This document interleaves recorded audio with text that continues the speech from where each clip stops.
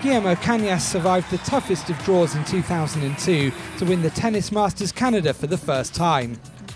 The Argentinian had overcome a list of opponents who would all feature in the top 10 at some point in their career. Four of them would also reach the summit of the rankings. Federer, Srichaphan, Kafelnikov, Safin and Haas all fell to world number 19 as he took on Andy Roddick in the final.